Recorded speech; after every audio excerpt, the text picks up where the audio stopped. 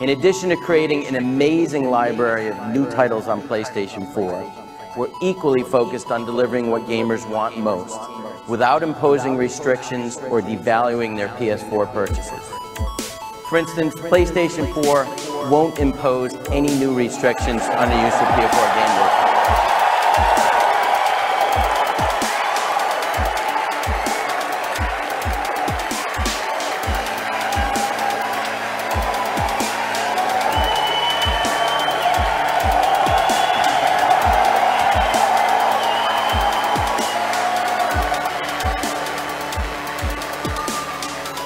that's a good thing.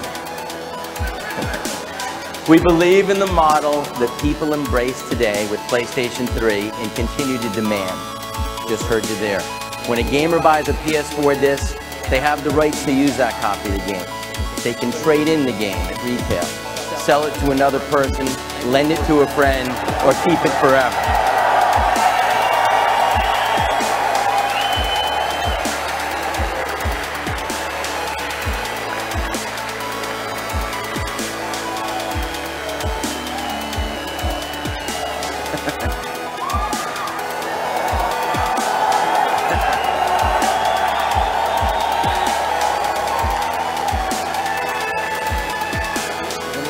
In addition, PlayStation 4 disc-based games don't need to be connected online to play.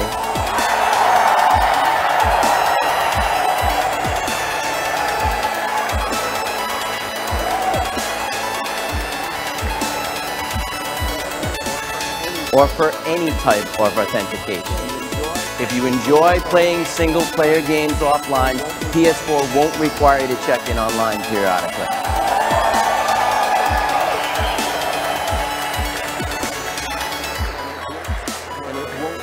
And it won't stop working if you haven't authenticated within 24 hours.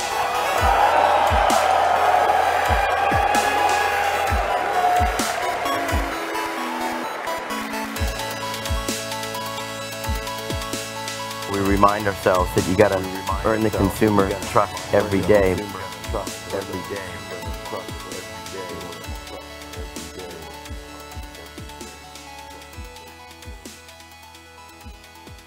Now, I know you might be quite enjoying what you've been listening to so far, but this next one's quite special because this is the first sketch that I was kind of properly involved with. First bit of acting, had to put on a Scottish accent and everything. It was a bit of a bit of a stretch, really. Yeah, I was going to say that's pretty hard for you, mate. exactly. Now, I'd beg to differ about this being your first skit, but yeah, maybe that other one's kind of lost to posterity because you were part of the FIFA skit when you came on as a guest first of all.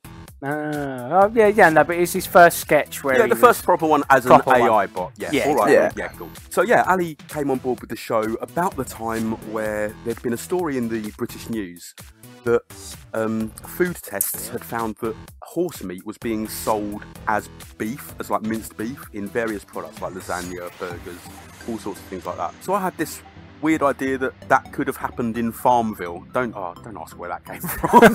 um, just one of those uh, weird ideas plucked from nowhere. Um, and we uh, again, for people that are outside the UK, we have a program here called Newsnight. Uh, now it's on every day. It has been for like maybe 40 years or so. It's a, a long-running show, a real sort of British institution. Uh, so we thought we kind of use the the tropes of that. And um, they've got an interviewer called Jeremy Paxman who's notoriously hard on all his guests. He's very aggressive, isn't he? Yeah. Um, so we tried to use yeah all of the uh, the tropes of British BBC News and their sort of flagship program Newsnight. Uh, And to grind it into gaming as well, yeah yeah to somehow Like mash all that together. like it's some kind of gaming horse meat burger that we'd created on our sketch. And again, like people listen to this. It's probably like um, you know people say there's two things you don't want to know how are made, and that's sausages and laws. You could probably add AI bot skits into that as well. So- Yes. but we're going to explain them anyway, just, just for you. Oh, there's nothing better than getting home from a long day at work and eating a Findus lasagna. Right, wonder what's on TV. Keep in touch now with the BBC News Channel. Shocking evidence has come to light, seemingly showing that horses have been masquerading as cows in Farmville. The popular Facebook game has been rocked by these revelations, with many parents angry that their children have been conned into breeding horses instead of cows. It's a pure blatant scam, man. That's what it is. See, My wee Katie's been selling her broon coos in the game for 15 bloody gold coins when she should have been selling them as broon horses for 120. Single war family and off low imaginary money. I'll see yous in imaginary court. Besides the obvious financial concerns, some parents have voiced fears over possible health risks. Well, our Milo is allergic to horsehair. We never allowed him to buy horses in the game for fear of exacerbating the condition, but we assumed the cows were fine, as any parent would. No wonder he's been so wheezy these past months, poor little fellow. We invited the developer Zynga along for an interview, but they declined, instead giving us this brief statement. Zynga prides itself on the trust we have with our customers and the quality of products we offer. However, it appears that some of the development work for the cows in Farmville may have been outsourced to a third-party Romanian studio. We thank you for your interest in Zynga products. This is just a short demo of the full statement. To listen to it in its entirety, please enter your credit card details, blood type, mother's maiden name, and purchase 1000 Zynga coins. An offer which we declined. We did, however, contact the Romanian developer in question. We were simply following the orders provided to us by Zynga. They requested us to create 3 million elaborate cow pattern coats in varying horse sizes, from 12 hands all the way up to 22. I distinctly remember the job. We'd coded the entirety of Aliens Colonial Marines on the Monday morning, then spent the rest of the week making the coats. Meanwhile, similar allegations are spreading to other developers in the industry. On last night's news night, legendary games designer Peter Molyneux was forced to defend himself against Jeremy Paxman and some damning historic accusations.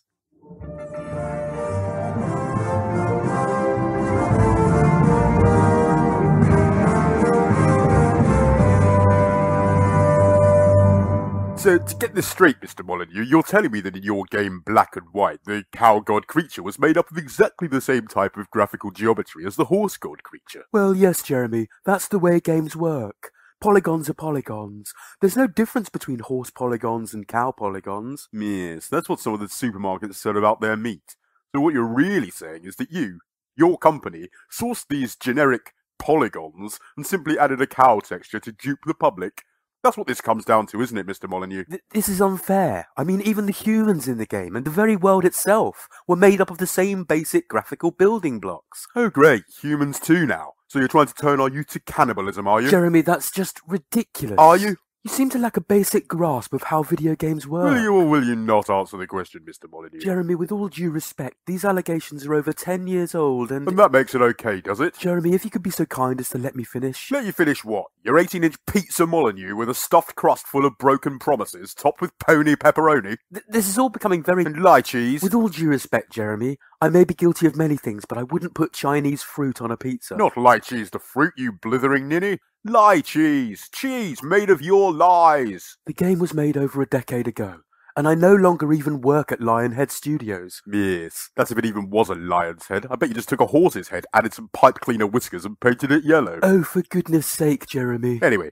just time for a quick look at tomorrow's headlines. The Times, Cameron pledges Shenmue 3 if given second term. The Express, Randy Pitchford on the run after killing Jim Sterling. No idea who they are. And The Sun, Freddie Starr ate my PlayStation 4. That's all from Newsnight. We'll be here the same time tomorrow. Join us. Good night.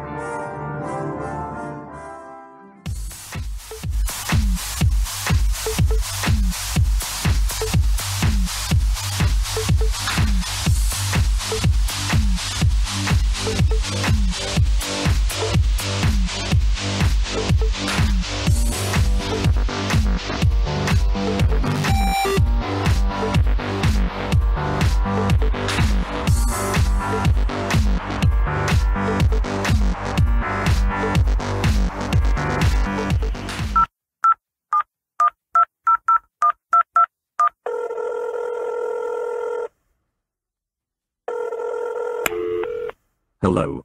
And thanks for calling game customer services. All of our operator is busy. To order Mass Effect 3, no wait we haven't got that, I mean last story on Nintendo Wii. Oh hang on a minute, Dave's mouthing something. Oh, looks like you'll have to get that in Tesco too. Sorry. To order 2 million second-hand copies of FIFA 2008, please press 1. Please. For little old me? Press it. Go on, you like football don't you? And it really would help us out. It's got all the players and everything. Not as good as the one on N64 with Song 2 by Blur as the title music, but we stopped selling retro stuff years ago. Our mum made us take it all down Oxfam, even GoldenEye. And my limited edition Samurai Spirits Neo Geo Pocket. Not even the local orphanage would take Superman 64 off our hands though. I've eaten Superman 64 on toast for breakfast every single day since 2003, and I've still not dented the bloody pile. By the way, Maureen in accounts says she'll give you a bit of slap and tickle in the broom cupboard if you buy those copies of FIFA. How's that for a reward card bonus?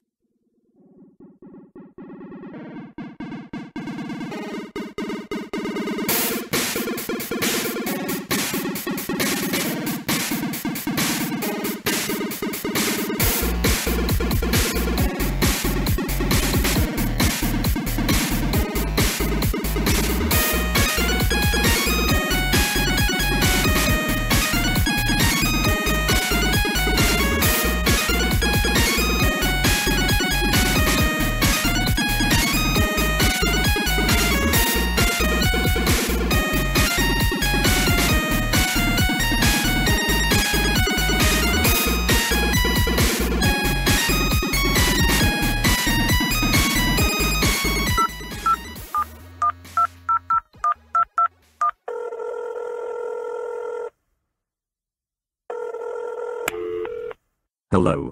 And thanks for calling game customer services. We've only gone and found ourselves a bloody buyer. Press 1 to join me in a celebratory dance of ultimate smugness. Press 2 to shout get in there, you mother lovers. Press 3 to light my mahusive Cuban cigar. Press 4 to gain access to our VIP party. It's all kicking off in here. Jay-Z and Kriss Akabusi just arrived with Jet from Gladiators. Hang on, that's not Jay-Z, it's Dave Benson Phillips. Even bloody better. Mike from Human Resources is just pouring me my third pint of snakebite and black. I have a wicked Ribena mustache already. We are gonna party like it's 1999. Or 1799 pre-owned. Big shout going out to the Dixie Fried Chicken Posse. Walthamstow High Street. Keeping it real. Now listen Bob, we got a new DJ here on Crackdown FM, but he don't come down to the studio. He phones it in, but he's gonna rip this session up. Have a listen. Listen carefully. I'm starting to load. About to explode. I'm butchering code. Like so much roadkill. I've got more bars than Jeff Minter's sheep farm. And more hoes than Farmville so. I'm the fire starter, main course, and dessert. I'm not on the ones and twos, I'm kicking it binary style on the zeros and ones. I look more dapper than Parappa, and he's crapper as a rapper. Who's the daddy? I'm your papa. Apple appointed. Take me seriously. Get it, Siri? Seriously? See what I did there? Oh never mind. When it comes to the true games master, I'm Patrick Moore, and you're Patrick Less. I'm Dominik Diamond, and you're Dominic Cubic Zirconia. We'll talk bruv. Press hash for game customer services Moroccan division. Press 1 for one lavender place. Press 2 to tango. Press 3 2 3 2 3 2 1. Here we go. Shout out to Gilius Thunderhead, Tyris Flare, Axe Battler and the Golden Axe Gangster Squad. But word to the wise yo, kicking dwarves isn't big or clever, and they don't drop magic potions in real life. Holding it down, like I'm on auto fire. All your baseline are belong to us.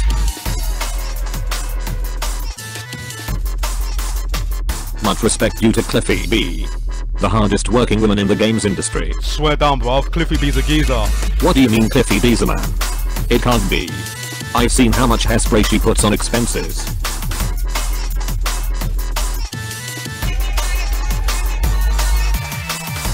Shouts going out to shouts going out to shouts going out to shouts going out to shouts. Oh bugger, I'm stuck in a feedback loop. Can someone press F5 to refresh please? Or Control Alt Delete? Have you tried switching me off and on again? I can feel a blue screen of death coming on.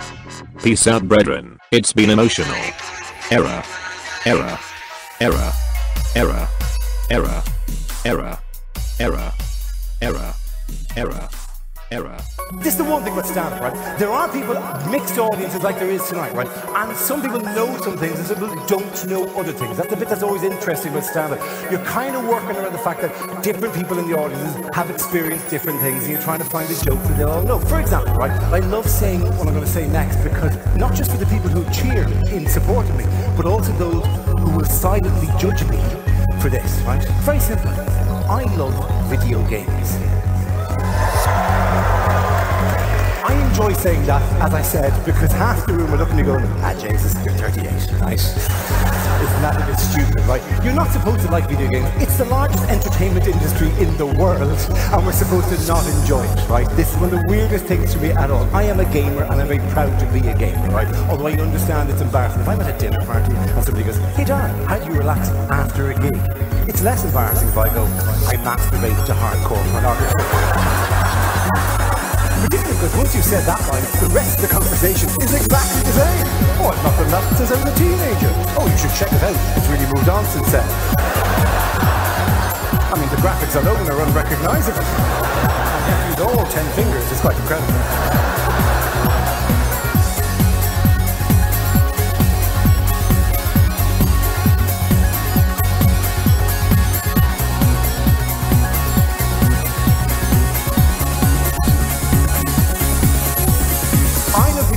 This reason over all other art forms. They do a thing which no other art form does, right? No other art form does. You cannot be bad at watching a movie. You cannot be bad at listening to an album. But you can be bad at playing a video game, and the video game will punish you and deny you access to the rest of the video game. No other art form does this. You've never read a book and three chapters in, the book is gone. What are the major themes of the book so far? I, I, I deny what that thing close to. Oh, Jesus, come on! You've never been listening to an album. After three songs, the album has gone. Dance for me. Show me how good your dancing is. Your dancing is. Good enough? And the album's gone. No, and stopped.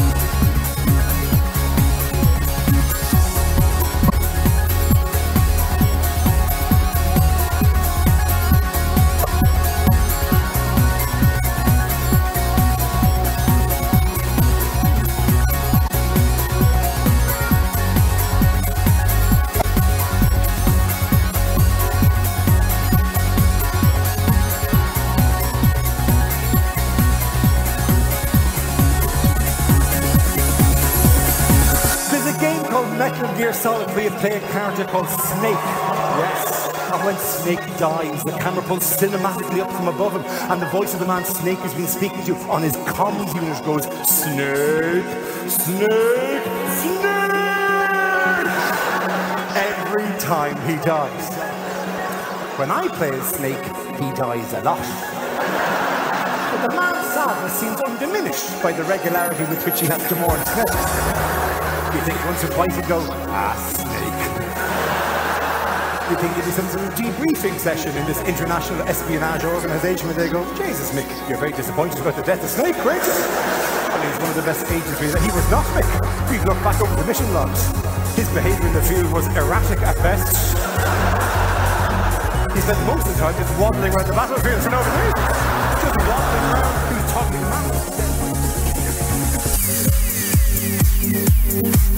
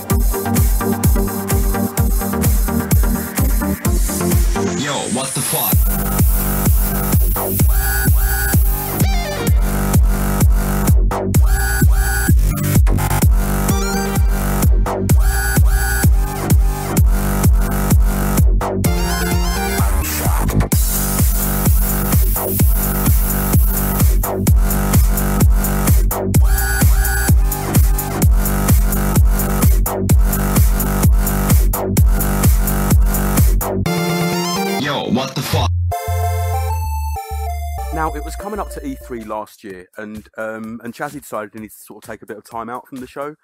Yeah, going through a bit of a stressful period. Um, and to be honest with you, I was doing about 16 hours a week on the podcast, and I'd basically gone mental. It does like we were working really hard on something that like it starts out as a hobby, and then it ends up taking over sort of so much time, doesn't it? So It becomes a second job. Yeah. Uh, let's be honest. I'm sure any, anyone else that's tried doing a podcast will completely understand that. And I think listeners have probably heard other people sort of mention it on shows that, yeah, like you say, it becomes sort of this second life. And especially like also even just sort of promoting it online becomes kind of not, not a chore, but not where you started off wanting to be. Do you know what I mean? Like, starts off as this fun little hobby, and then, like you say, it sort of becomes almost a business.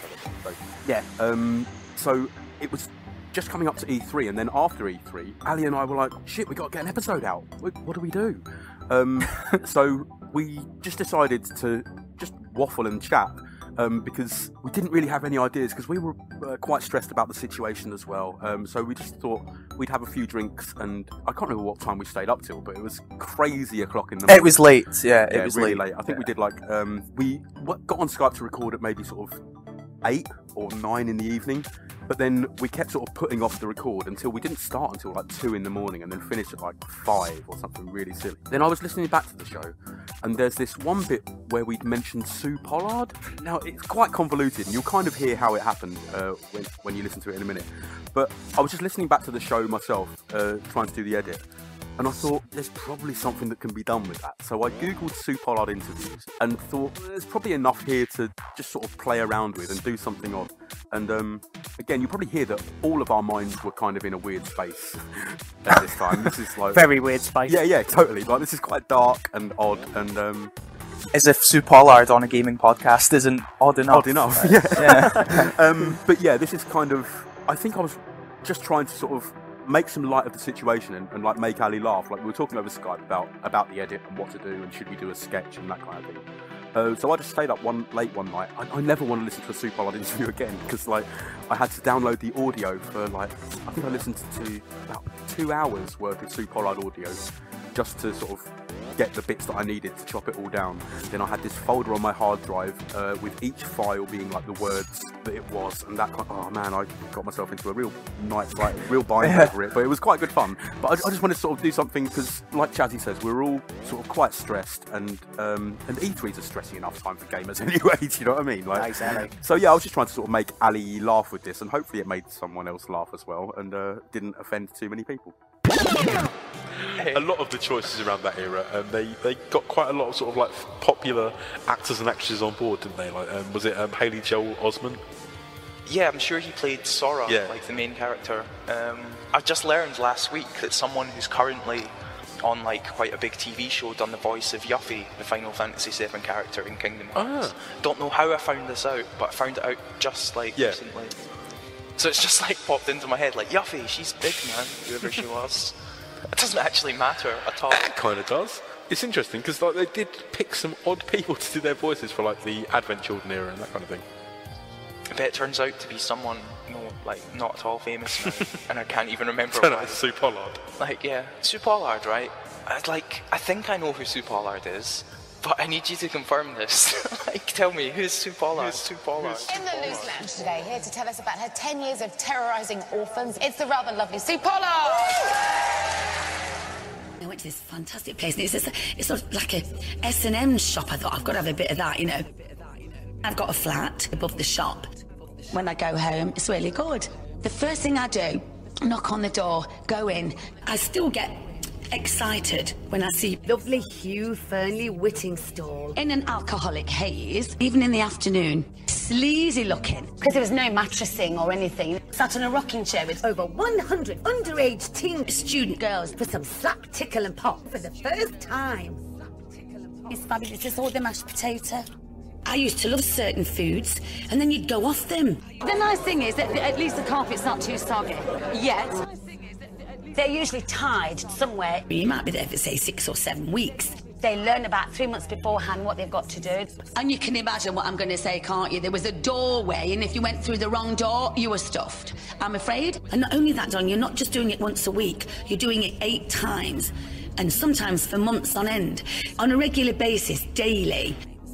There's also Neil Morrissey. I've not been to the gym for six months, darling, because I mean, this is a great workout.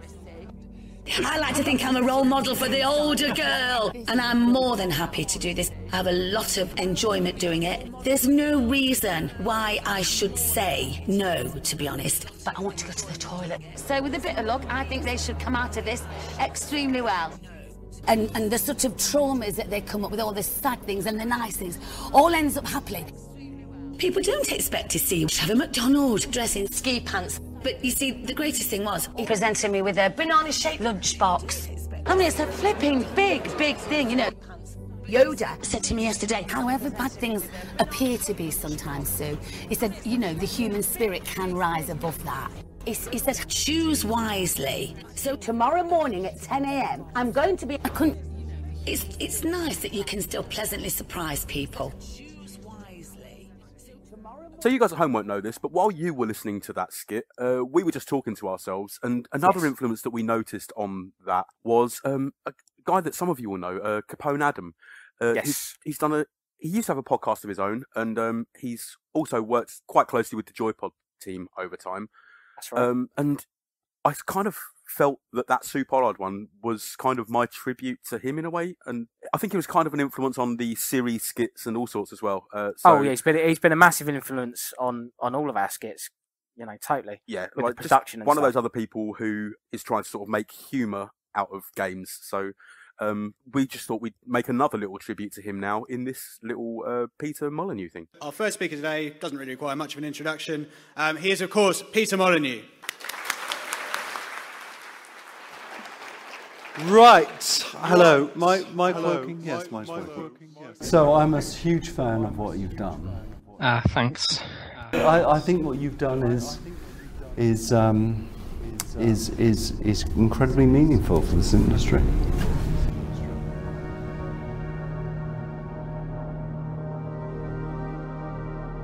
Computer games have been around for a while now. They were the young kids in the block, and where every game that came out represented a new leap forward in technology. Well, that innovational curve has kind of slowed down now. And my whole point is if we really want to introduce a new level of innovation into computer games, then it's things like emotion that are important. Like, how does it feel to be loved by something on a computer game? I felt what it feels like to be hated by things in a computer game countless times. I felt the emotion of wanting to kill things and destroy things. But what about caring for something? I think this emotion in gaming opens the lid of something which is very interesting. Is there any emotions we don't want to show? There's some very unsavory emotions in that tin, but at the moment I kind of want to show them all. So if you have a look in that storage pit, you can just see here there is a barrel, and on that barrel uh, is a little apple, and in that apple you can just see there is a worm. tree there was a limb, and on that limb there was a branch, and on that branch there was a nest. In that nest there was an egg, in that egg there was a bird. From that bird a feather came, and all that feather was. a dog. Uh, this is my dog, by the way. No other dog is going to look or behave like this. Um, now, let's talk about him. He's a fully morphing, uh, growing uh, dog. We put an awful lot of AI and empathy into a dog, which is highly, highly attentive and empathetic to what you're doing. That is has got a mind that is partially formed by the very actions that you take in the game. The very actions that you take in the game. So, I've been in the industry since uh, 1989. In that time, I, you know, I've been involved with a lot of amazing people and had some crazy idea for some games. But I'm on a quest now. I'm on a quest to make a truly great game. Because really and truly, you know, I look at all the games I've done, if we just go through them, and I ask myself, are they truly great? You have to think different. You have to stand out from the crowd. Craziness is good sometimes. And now is the time to make a great game, you know. Why is now the time? Because gaming is truly everywhere. It's everywhere. It's in everybody's hands. There's a billion smartphones. A billion. A billion. A billion potential gamers out there. And at the moment, they're playing shit. I have to stand up and say all this experience, all these mistakes, all these stupid pigeons and shooting, um, shooting people with uh, with miniguns. I've got to use all that experience and make something great. And make something great with the stuff that us designers have that we've never had before. We've never had the ability to reach out to, to millions, even billions, billions, billions, billions, billions. And then there's one last thing which I'd like you to, it's a weird one, but for the first time ever, because of all this technology, you can start playing games and continue to play games. Your games don't die. You know, I remember the days where you used to have to save your game onto floppy and then the floppy disk used to get lost and oh, it was an absolute nightmare. And that went on to saving it on your Xbox hard disk and then your Xbox went slightly wrong. Anyone had the red ring of death in the room? Yes, exactly. It's very frustrating. Well, now we can keep these saved games like we keep photographs. They're memories. They're memories of fantastic things that we have, of fantastic experiences that we've got. And lastly, not leastly, it is the golden age of input devices. You know, of, of touch. Mean, just think of that. As a designer, what's it mean? The word touch is an incredible word. To be able to touch an experience, to touch a world, to manipulate a world. And don't think that these input devices are at the end. Don't think that Kinect or Smart Glass or Move or, or any of those, don't think that we're, we're at the end of that invention uh. We're not. We're just at the beginning. And so what all this does for me is it said one thing. I was working at Microsoft and I had a fantastic, amazing job. It was, a, you know, it's a lovely company full of lovely people doing lovely things. But it was just very comfortable. And I thought, to myself, with all this technology out there and all these exciting things and this mass audience, you know what I have to do?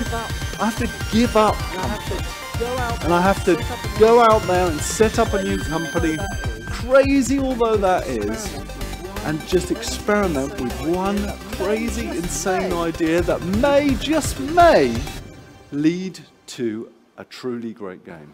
game. A truly great game. A truly great game. And again, now we come to a sketch which was kind of based on a story that came up in the news at the time. Um, I suppose you'll hear it for yourself in, in the skit in a minute. But also, there's a strong um, Wallander theme throughout this entire sketch. And at the time, I was actually the only bot who had who had seen Wallander. Even then, it was just the British version. So there was this um, again kind of meta thing where we're parodying the, the Swedish version of the show without having seen it. Is that a good Yeah, thing? Is well, that allowed? I mean, well, I had on. this idea that like it needed to be done because like Wallander was kind of the big talk of British TV at that time. Do you know what I mean? Like it was like hitting all the ratings and stuff, and it was like, well, that fits perfectly because it like it's a Swedish story and it just all seems to fit. Except again, I, yeah, I hadn't seen it, so I had to sort of go off and watch all these YouTube clips, try and sort of like immerse myself in it for like a couple of days. But um, I couldn't get my head around it really. It just seems sort of so low key. Do you know what I mean? Like, so we just tried to sort of try to carry the theme of what I saw as the theme of the show throughout it. and then just get incredibly like sort of xenophobic and slightly racist by just making out that everyone in Sweden talks like the Swedish chef. I'd argue that it's quite the opposite of that. The message is clear that like we're attacking it from the other angle. I well, I hope so anyway. Yeah, fingers crossed. there's me thinking, there's me thinking in my head that that's how it comes across. Oh no, I'm being totally anti-racist here. Tap tap tap. Um, and then oh man, yeah. So if anyone read it that way, then uh, it's not. we how it uh, admittedly, we do try to address that at the end with the whole Jim Henson stuff. and then well. yeah, but but then kind of make it worse at the same time.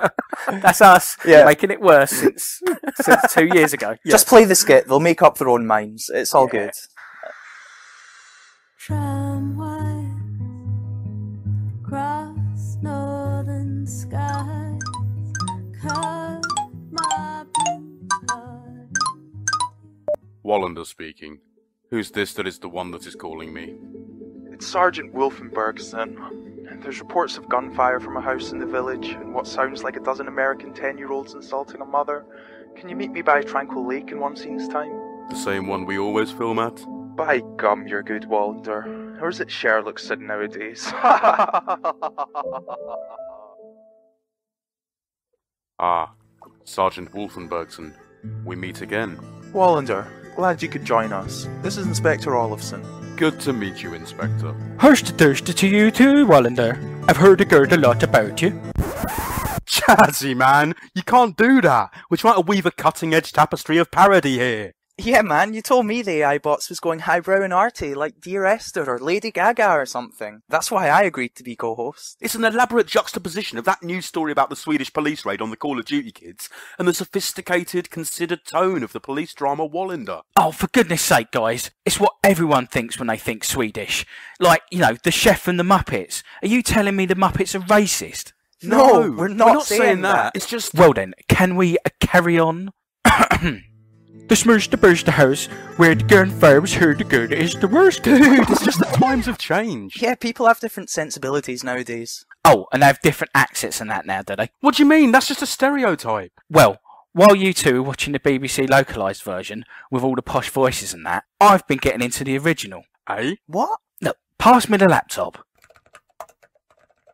Here we go, the proper Swedish version. Watch this.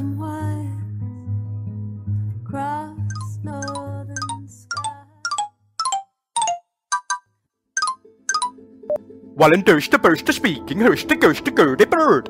Sure, Wolfenbergenschen. Hurst the burst, the girl, heard the burst. The Hurstberg we always film at. Sure, burst the Hirschverfeder.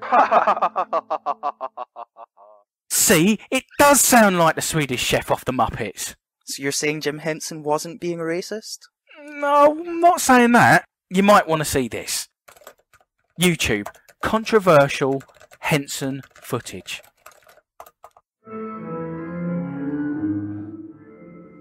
I am the count, and I love to count. Who won? Who won racial stereotype? Ah, ah, ah, ah, ah, ah. Two, two racial stereotypes. Ah, ah, ah, ah, ah. We take you now to Kermit the Frog with another fast-breaking news story. So I said, you stinking Belgians can shove your overpriced Belgian chocolate between your Belgian buns. Uh, Kermit, we're rolling. Hi ho, Kermit the Frog here for Sesame Street News. Hi, Bert. Hi, Ernie.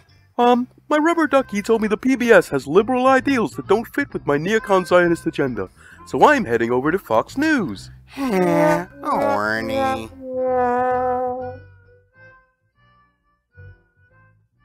So there'd been a lot of news and stuff uh, around this time about basically lots of studios outsourcing all their work. Um, I know it was. I think we came to it from the point of view of uh, Gearbox had outsourced Aliens Colonial Marines, I believe, and we thought, wouldn't it be fun if uh, we actually tried to outsource our skits and take maybe some of the stress out of doing them? So Dan uh, sort of went away and then fired up the pun machine. Yeah, and I did fire up the pun machine, and also it's quite odd this one because again, it kind of relates to where we, we were all sort of burning out and, and getting stressed, and uh, I was finding doing the skits sort of more and more of. Again, I kind of felt to myself that if there wasn't a joke there, to force it was um, uh, almost criminal. Yeah. Um, so this one's kind of a meta joke about forcing jokes as well. Like it's got its own sort of meta strand about me not wanting to do the skits and outsourcing it and yeah, It's, uh, so it's all kind of quite closely tied with the uh, the reasons for the show ending really i suppose Yeah. um, so we just want to sort of give a bit of the sort of humanity behind it as well yeah i just thought right i'm going to write the worst jokes ever uh, if there has to be a skit it's going to be the worst jokes ever ironically That's it, actually burn it turned out- down. yeah uh, well that's yeah um, but ironically it turned out quite good and people seem to like it so um, and also in doing one that was about outsourcing it's one of the ones that i actually had to do like the most amount of editing work on like editing all of those jokes down from the takes of doing them because um, we all had to try and sort of get the intonation right or wrong Yeah. as the case may be There was a Um, lot of different tries on lots of different accents and intonations, and yeah, it became a bit of a monster in itself. That skit. We were trying to hit just a general European accent, and then kind of just hit some very, very bad stereotypes. in the intro to it as well, it's got um I think my favourite line from Ali of all time. It's the uh, I quite like German jokes actually, just sort of delivered so deadpan. In fact, there's there's a couple of lines in that little bit where we're talking about. Oh, you'll hear it. It'll it'll make sense. But uh, Ali's deadpan in the intro like had me in stitches Ah, when I was brilliant. editing it together. So Absolutely brilliant. um, so if you want to listen to bad jokes, here you go. Damn, mate, we haven't had any skits for the past two shows. What do you mean? I've been totally skits for the past two shows. No, you know, skits, sketches, you know, that kind of thing. Yeah, it's funny you should mention that. We just had a message come through on the AI bot's answer phone. You have one new message. To listen to your messages, press 1. For Hello there. This is a message for the AI bots. My name is Wolfgang Namstyle. I'm the CEO of OMFG, Outsourced Media for Games. We've noticed that your show has had no comedy skits for two episodes, and I'm calling to offer a solution. Mate, it's This not that European podcast outsourcing scam again, is it? even offer a I've already told you about that. Our patented German joke writing supercomputer uses precisely calibrated algorithms and a vast database of video game trivia to craft the finest geek humor possible. And I'm not These being funny, but German jokes? They're not exactly known for their sense of humour. I quite like German jokes actually. Well, even if the jokes are alright, people are going to know that it wasn't us. He's got a point, Dan. They'll never sound like And us. there's Grumbleweeds. We use the finest voice actors available in Europe, so that even your most dedicated listeners will be unable to tell that it is not the three of you talking. If you'd be interested in an obligation-free test skit, They'll seldom you do us a free on trial. Hamburg What have we got to lose? 555 Alright, as long as it's free. But don't say I never told you so. Thank you very much, please. Goodbye.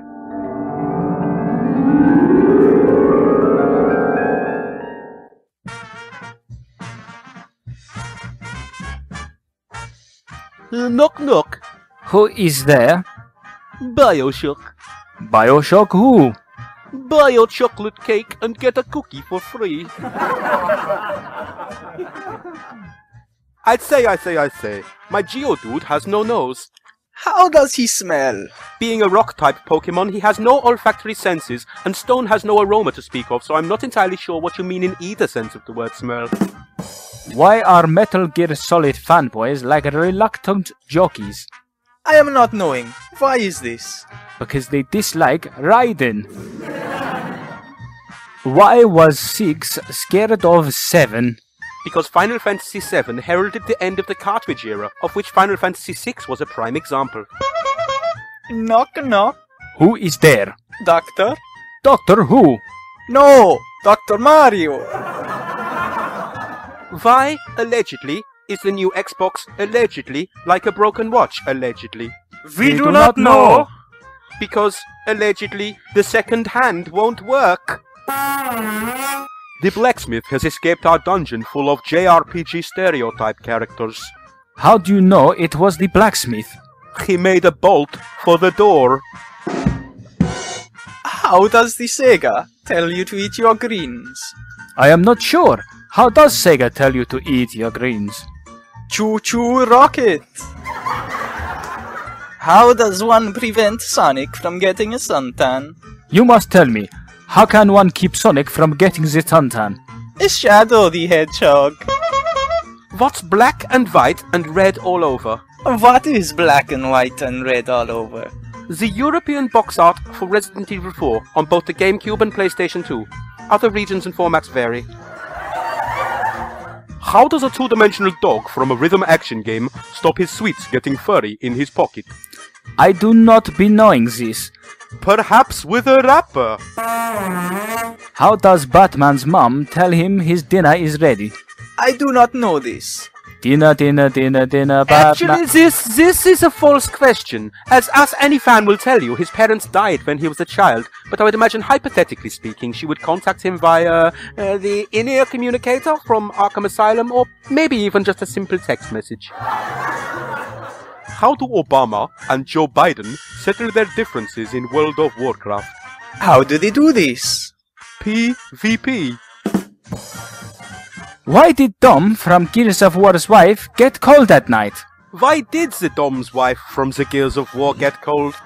He always took cover. Why do people still enjoy playing the unicycle racing game Unirally on the Super Nintendo? Why does people still play the Unirally? Because it's not too tired. What is Liu Kang's favorite drink? Oh, what is his favorite? Martell Cognac. Why did the local area networking engineer quit Gearbox Software? Tell me. He was bored, Olans. Why does blood drip down Dracula's walls? I am unsure. Why does blood drip down Dracula's walls? Because the castle's veinier. Why don't waterfowl go to the Sony Christmas party? Why is this? Because Crash banned a coot. Why doesn't Jason Rubin drink Strongbow? I do not know. Why does he not drink this? He prefers Darksiders. How did Agent 47 get from the cliff top to the sea below? How did Agent 47 get from the cliff top to the sea below? Hitman, Abseil Ocean. Which action platform game star owns the most French cars? Please, do tell me. The Prince of Persia. What sandbox game did Jesus' disciples play in his boat on the Sea of Galilee? I do not know. What game is this? Saints Row. Why is the first portal like Ricky Butcher of EastEnders? I need to know. Why is the first portal like Ricky Butcher of EastEnders? They both only originally came in the orange box. Why did the frog cross the road? I do not know why Frog did cross road. Because Konami needed a simple and recognizable sprite in a color that would stand out from both the black road and the blue water sections. Why does Kaz Hirai sometimes have uneven stubble? Tell me, why is uneven stubbliness? A ridged razor.